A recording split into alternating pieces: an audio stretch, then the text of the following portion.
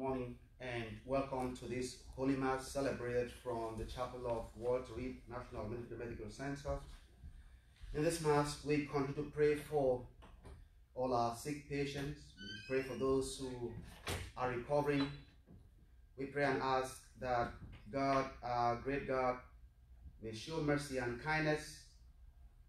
We pray that God may bring healing we pray for our doctors, pray for our nurses, that God may protect them at this time as they provide care and healing for our sick.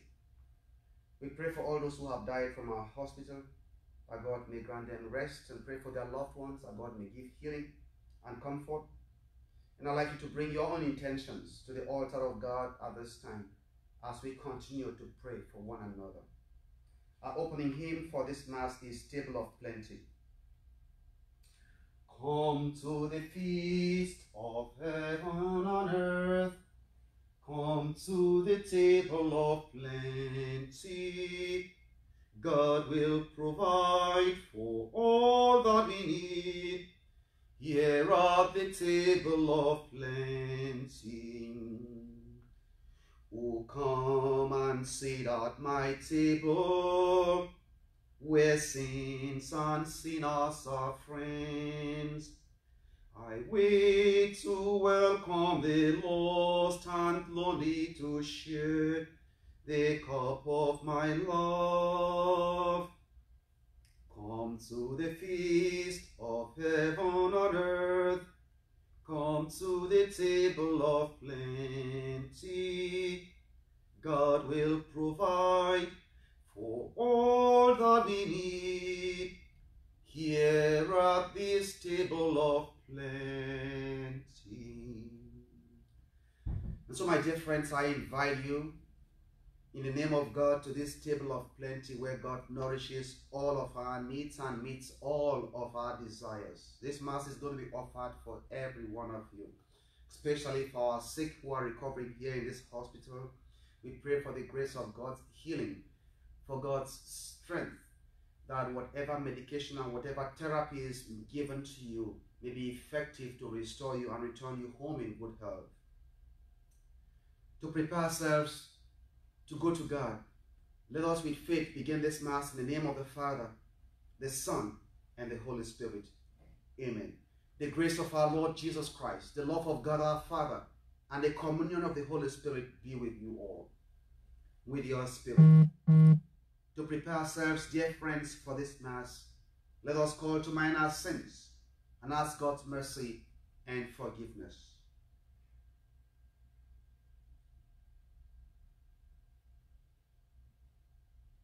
Your mercy brings healing. Lord, have mercy. Your mercy brings protection. Christ, have mercy. Your mercy inspires hope. Lord, have mercy. May Almighty God have mercy on us, forgive us our sins, and bring us to life everlasting. Amen. Let us pray. O God, hope and light of the sincere, we humbly entreat you to dispose our hearts to offer you worthy prayer and ever to extol you by dutifully proclaim by the dutiful proclamation of your praise. Through our Lord Jesus Christ, your Son, who lives and reigns with you and the Holy Spirit, one God, forever and ever. Amen.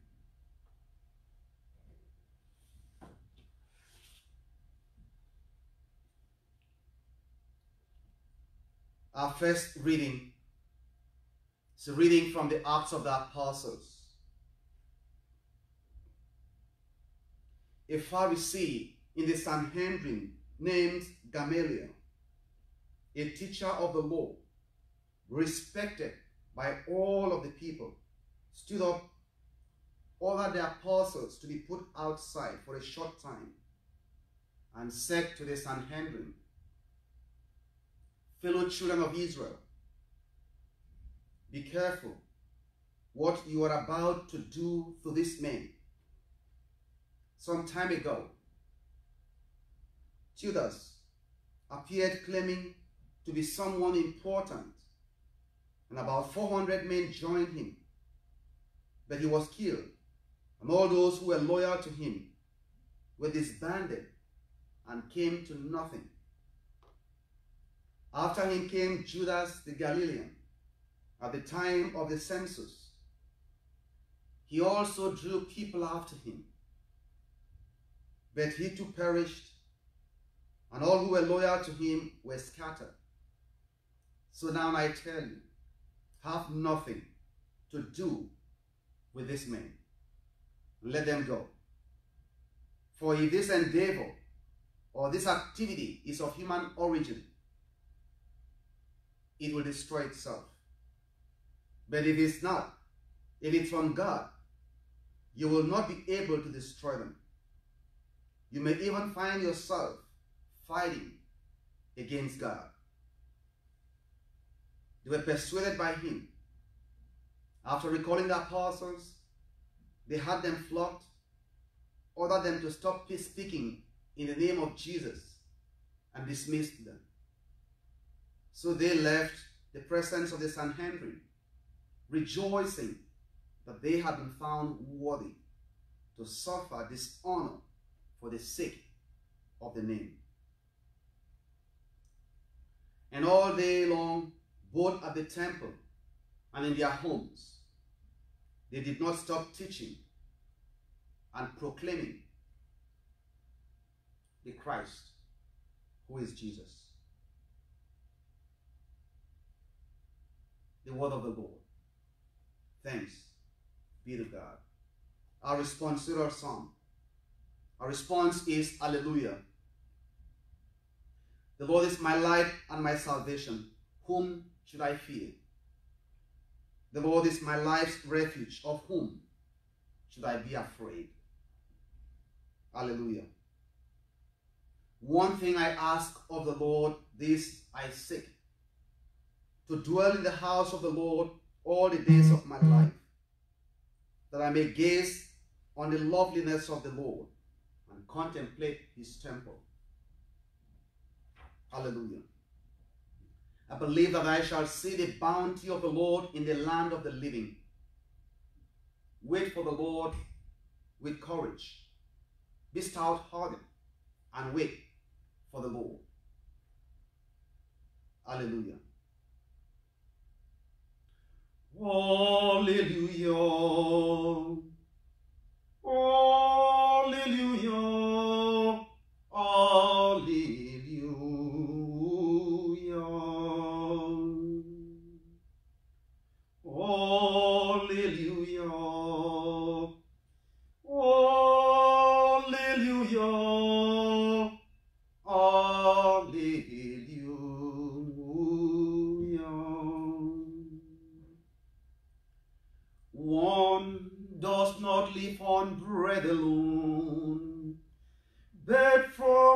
Every word that comes from the mouth of God. Hallelujah.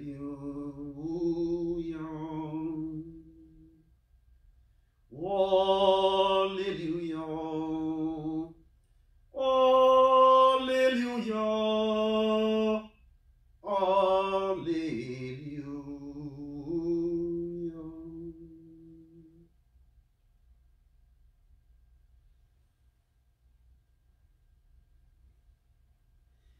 My sisters and brothers, the Lord be with you, with your spirit. Reading from the Holy Gospel according to John. Glory to you, Lord. Jesus went across the Sea of Galilee. A large crowd followed him because they saw the signs he was performing on the sick. Jesus went up to the mountain, there he sat down with his disciples. The Jewish, the Jewish feast of Passover was near. When Jesus raised his eyes and saw that a large crowd was coming to him, he said to them, Where can we buy enough food for them to eat? He said this to test him, because he himself knew what he was going to do. Philip answered him, 200 days' wages worth of food would not be enough for each to have a little piece. one of his disciples, Andrew, the brother of Simon Peter, said to him, There is a boy here who has five barley loaves and two fish. But what good are these for so many? Jesus said, Have the people recline. Now there was great deal of grass in that place. So the men reclined about 5,000 in number. Then Jesus took the loaves, gave thanks, and distributed them to those who were reclining, and also as much of the fish as they wanted. When they had had their fill, he said to his disciples, Gather the fragments left over, so that nothing is wasted. So they collected them and filled twelve wicker baskets with fragments from the five barley loaves that had been more than they could eat. When the people saw the sign he had done, they said, This is truly the prophet, the one who is to come into the world. Since Jesus knew that they were going to come and carry him off and make him king, he withdrew again to the mountain alone. The Gospel of the Lord. Praise to you, Lord Jesus Christ. My dear friends, I would like to reflect with you from the Gospel reading. You realize how this Gospel begins. It says, Jesus went across the Sea of Galilee, and a large crowd followed him because they saw the signs he was performing on the sick. They saw the signs he was performing on the sick. Yeah, and you one might want to ask, what signs was he performing on the sick? It was healing. That means he had spent maybe the entire day healing as many people that came to him. And at this time where there are so many who are so sick, the ministry of Jesus is constantly mm. present here with us, doing exactly what he was doing here across the Sea of Galilee, caring, providing ministry and healing for the sick. Now realize what happens after. I guess Jesus wanted some time to rest after an entire difficult day where he was working so hard. He just wanted to see if he could withdraw a little bit and rest. That desire to withdraw for rest just reminds me of all our healthcare workers, our nurses, our doctors, you know, people on the front lines who are just wishing to catch 30 seconds, 30 minutes here of rest just so they could recuperate and be able to carry on with their jobs. And, and like Jesus, there is no rest. Because realize while Jesus was trying to get some rest, suddenly he looks up and sees another crowd coming towards him. He, he was, was overwhelmed with the work they had to do. And I realized the disciples did not want to have a piece of this. They were like, we can't feed these people, just let them go. And I think about how many times we could feel like this because we're just so exhausted, so spent. We're giving all, we've given all, and there is nothing else to give. You feel like, I've had enough, I don't want no more of this. And I have no doubt there are times where our doctors and nurses feel like that. They feel that there's just so much already coming at them, and there's no time to even recover. And that's an honest feeling. They are not faking. I just want, in case that's how you feel, just to realize that the Lord Himself felt the same way. He needed time to rest, and suddenly he realized there's no rest because there's still work to do. And I want to I, I want to appreciate all of you who, even without rest, are still taking the time to lovingly care for your sick, doing everything to make sure that they can be well and go back home. You family, You are everything for them at this time. I pray that God may bless you with grace, especially when you're tired, especially when you're weak, especially when you're hungry and there's not even time to get some food or to get some rest. Now realize when Jesus asked the disciple Philip, says, How can we get enough food? I'm thinking, what must have been at the mind of Jesus? The guys didn't come saying they were hungry. Why was he thinking about food? It just tells me how much Jesus cares about us. He anticipates our needs and begins to make arrangements on how to meet all of those needs, even before we ask. The beautiful song says, He is there. He is always there to answer each time we call Him. And sometimes we don't even call Him, but He still answers. And sometimes we don't even pray, and He's still there for us. So you realize these 5,000 men plus had never said they were hungry. But Jesus could tell that they had been with him the entire day. They will be hungry. He already began to make arrangements. And this caring, this compassionate, this loving, and this ever providing Jesus is the same yesterday as he is today, as he will be forever. That's what the letter to the Hebrew tells us. Doesn't change. That means whatever your needs are right now, whether your needs for rest, for healing, the Lord already anticipated that need and He is doing something about it. These guys did not know when Jesus was having this discussion with Philip and the other apostles. They did not know that He was already making arrangements to meet their needs. They had no idea. So Jesus is right here doing for you, even if you don't realize it. You, you might look at your situation as not improving. That's okay. But Jesus is doing something about that improve that situation that you still you think is not improving. He's doing something about it. Now, now realize when Jesus asked Philip, Philip said, Look, 200 days of worth of work will not even be enough for us to take care of this. There's no way we can do this. That just inspires some thought in me. The fact that you think you can do nothing about the situation, the fact that I think I can do nothing about the situation, doesn't mean God can do nothing about that same situation. Yes, you and I are limited. Our capacities are this much far. But God is not limited. Not by time, not by space, not by anything. Because the resources are ever present. He, he, he creates. He doesn't have to look for resources. He creates them.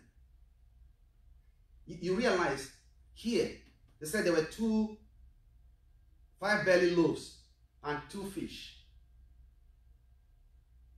I always would say, in the hands of Jesus, five belly loaves and two fish will feed 5,000 men with 12 wicker baskets left over. In my hands or in your hands, five belly loaves at best might feed 10 people. So it matters in whose hands it is. If it's in the hands of Jesus, that's the best place it should be. Because in his hands, wonders happen, miracles happen, great things happen, impossible things happen. And so that's why at this time we are placing all our sick in the hands of Jesus because we know what he can do.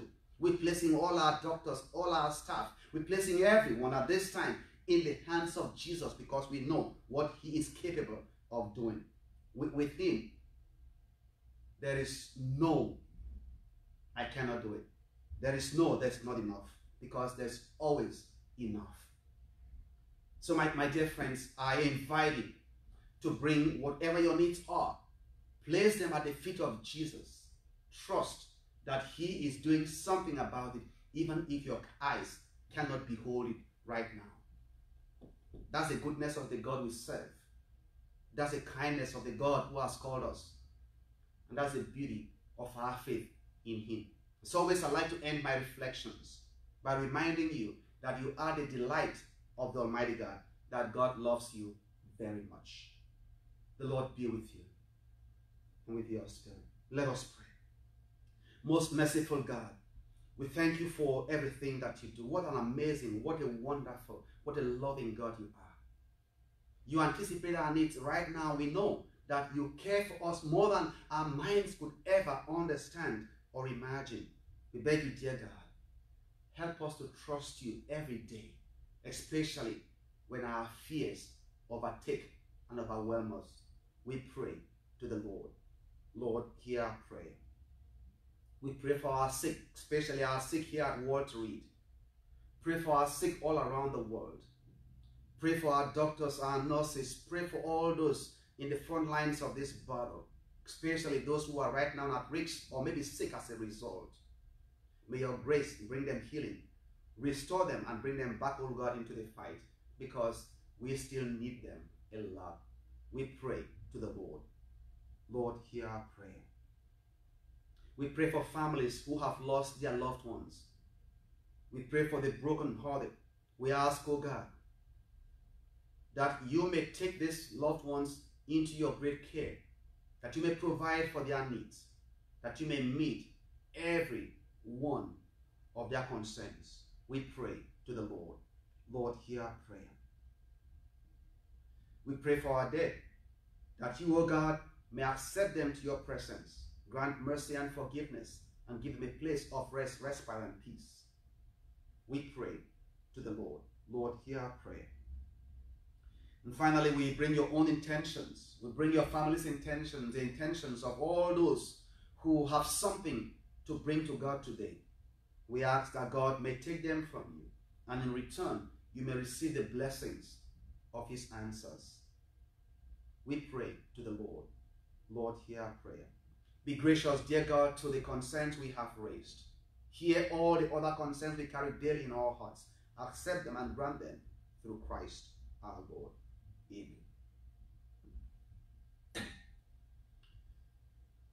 Over the gates we bring your word is spoken. Make it become for us a healing Lord. Take all our daily toils, planting our hearts for soil. Take all we start and spoil, each hopeful dream. The graces we resist, the chances we have missed. Lord, in your Eucharist, take and redeem. Blessed thy Lord God of all creation, for through your goodness we have this bread to offer, which earth has given and human hands have made. It will become our bread of life. Blessed be God forever. Blessed thy Lord God of all creation, for through your goodness we have this wine to offer. Fruits of the vine and work of human hands become our spiritual drink. Blessed be God forever.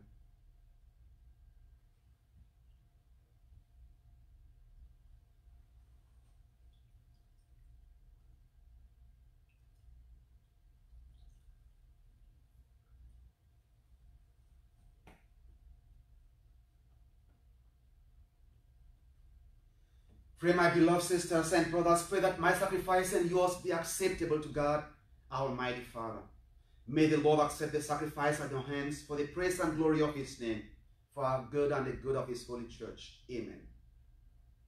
Accept in compassion, Lord, we pray, the offerings of your family, that under your protective care, they may never lose what they have received, but attain the gifts that are eternal.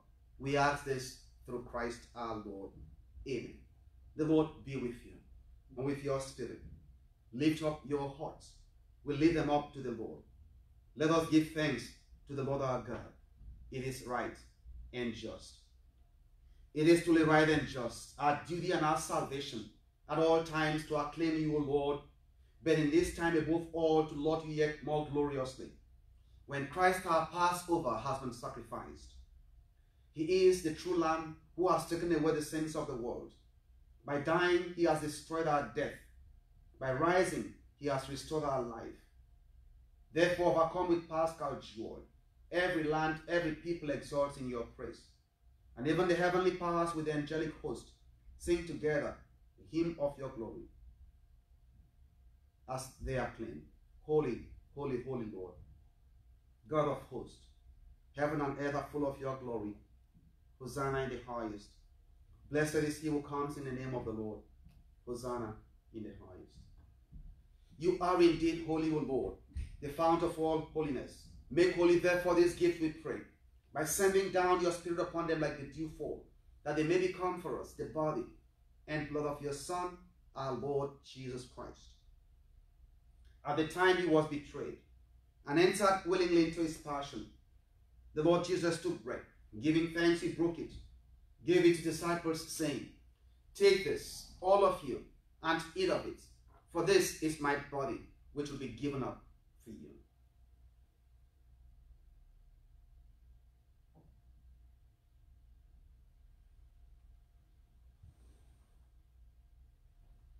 In a similar way, when supper was ended, the Lord took the chalice and once more giving thanks, he gave it to disciples, saying, Take this, all of you, and drink from it, for this is the chalice of my blood, the blood of the new and eternal covenant, which will be poured out for you and for many for the forgiveness of sins.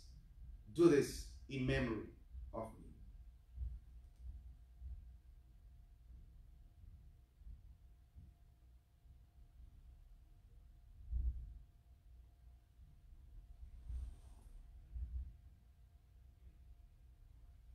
With the first acclamation, let us proclaim the mystery of our faith. We proclaim your death, O Lord, and profess your resurrection until you come again. Therefore, as we celebrate the memorial of his death and resurrection, we offer you, Lord, the bread of life and the chalice of salvation, giving thanks that you have held us worthy to be in your presence and minister to you. Humbly we pray that partaking of the body and blood of Christ, we may be gathered into one by the Holy Spirit. Remember, Lord, your church spread throughout the world and bring her to the fullness of charity, together with Francis our Pope and Timothy our Bishop and all the clergy. Remember also our brothers and sisters who have fallen asleep in the hope of the resurrection and all who have died in your mercy. Welcome them into the light of your face. Have mercy on us all, we pray, that with the Blessed Virgin Mary, Mother of God, with Blessed Joseph, our spouse, with the blessed apostles and all the saints who have placed you throughout the ages, we may merit to be co-heirs to eternal life and may praise and glorify you through your Son, Jesus Christ. Through him and with him and in him, O God Almighty Father, the unity of the Holy Spirit, all glory and honor is yours forever and ever. Amen. Let us rise and pray in the words our Lord gave us, Our Father, who art in heaven, hallowed be thy name. Thy kingdom come, thy will be done, on earth as it is in heaven. Give us today our daily bread, and forgive us our trespasses, as we forgive those who trespass against us. And lead us not into temptation, but deliver us from evil. Deliver us, Lord, we pray, from every evil. Graciously grant peace in our days, that by the help of your mercy, we may be always free from sin and safe from all distress, as we await the blessed hope and the coming of our Savior, Jesus Christ. For the kingdom, the power, and the glory are yours, now and forever. Lord Jesus Christ, who said to your apostles, Peace I leave you, my peace I give you. Look not on our sins, but on the faith of your church, and graciously grant all peace and unity in accordance with your will, who live and reign forever and ever. Amen. The peace of the Lord Jesus be with you always and with your spirit. Dear friends, wherever you are, watching and participating, may the mercy and peace of God be with you and abide with you always. Lamb of God, you will take away the sins of the world. Have mercy on us. Lamb of God, you will take away the sins of the world. Have mercy on us. Lamb of God, you will take away the sins of the world. Grant us peace.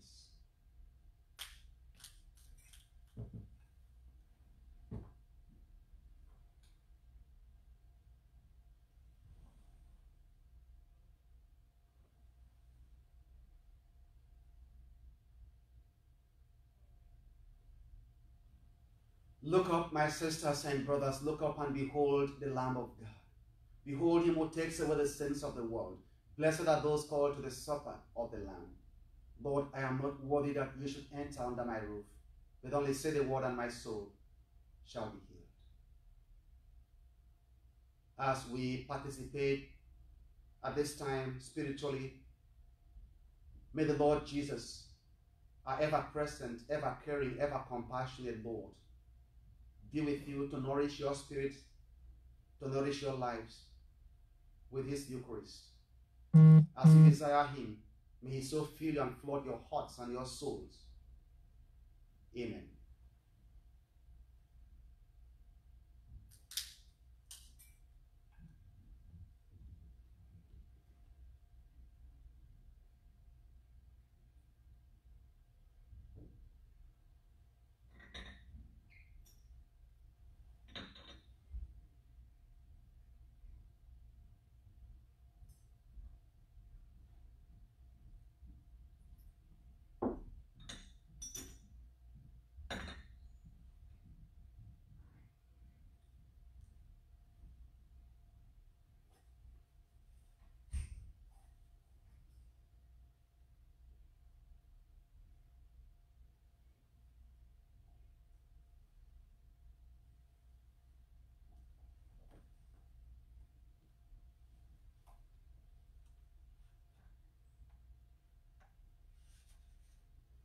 Sweet sacrament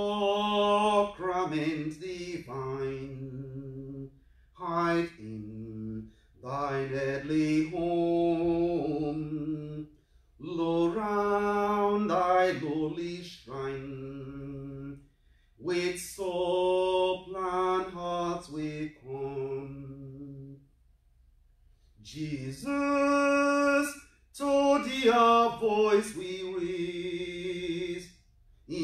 songs of love and heartfelt praise.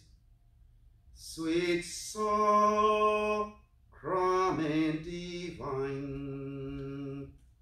sweet sacrament